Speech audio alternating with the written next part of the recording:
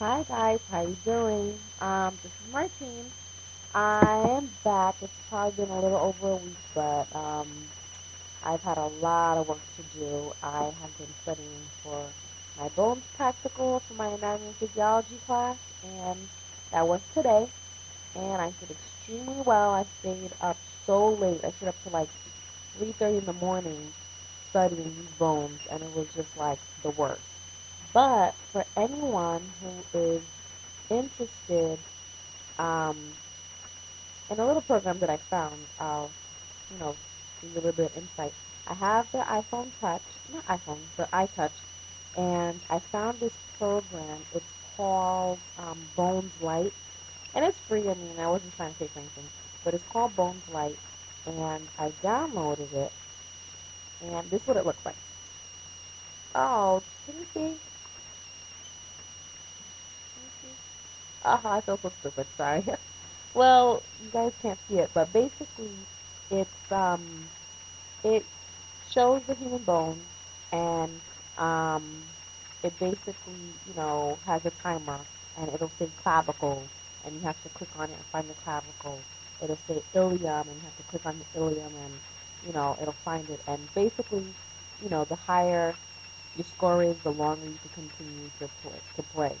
So, you know, it pretty much helps. It's called Bones Light. Just to let you guys know. I don't know if you want to pay for it. You want to, help yourself. But right now, I don't have the funds for that. So, I'm not getting anything. Um, there's another thing that helped me with my, um, my practical. In our class, our professor actually had um, a website that shows, you know, the bones, the actual bones, and have numbers on it, and it says, you know, correct answer you click on it and you can see all, you know, the corresponding names of the bones or the, the processes.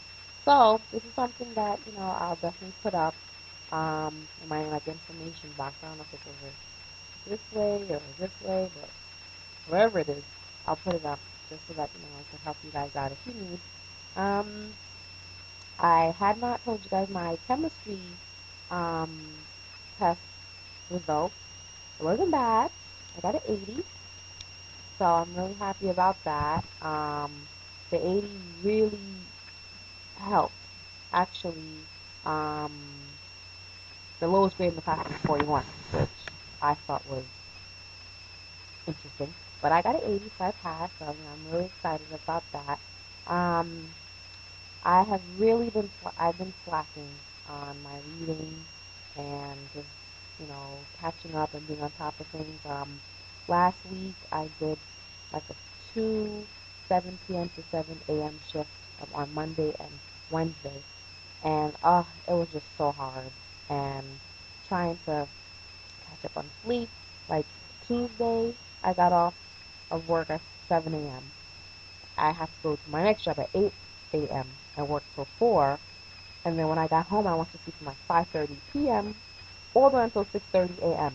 And the only reason why I woke up was because I had to go to work at 7 o'clock. So I, it was just so hard, and now I'm just feeling so lazy, and ugh, I have to read my anatomy book, anatomy physiology book. Um, I have to read some chemistry, I have to catch some chemistry homework, which isn't bad. So I mean, I'm not gonna really worry about it. But I'm really excited about everything. Um, I think I told you guys that the dean had approved me taking those two classes next semester. So I'm really excited and I can't wait to register. I should be registering um, by, let's see, today's what, the 19th? I should be registering in 10 days, hopefully.